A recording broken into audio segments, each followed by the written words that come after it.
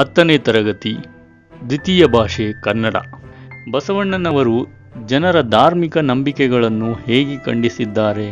ಉತ್ತರ, ನದಿಯ ಸ್ನಾನ ಮಾಡಿದರೆ ಪುಣ್ಯ ಪ್ರಾಪ್ತಿಯಾಗುತ್ತದೆ ಎಂದು, ಮರವನ್ನು ಸುತ್ತಿದರೆ ಪಾಪಕರ್ಮಗಳು ನಾಶವಾಗುತ್ತದೆ ಎಂದು ತಿಳಿಯುವುದು ಕುರುಡು ಸಂಪ್ರದಾಯವಾಗಿದೆ. ಒಣಗುವ ಮರವನ್ನು, ಬತ್ತುವ ಜಲವನ್ನು ನೆಚ್ಚಿದವನು ನಿರಾಕಾರ ಪರಮಾತ್ಮನಾದ ಕೂಡಲ ಸಂಗಮ ದೇವನನ್ನು ಹೇಗೆ ಅರಿಯಬಲ್ಲರು ಎಂದು ತಮ್ಮ ವಚನದಲ್ಲಿ ಹೇಳಿದ್ದಾರೆ. ಬಸವಣ್ಣನವರು ಜನರ ಧಾರ್ಮಿಕ ನಂಬಿಕೆಗಳನ್ನು ಹೇಗೆ ಖಂಡಿಸಿದ್ದಾರೆ?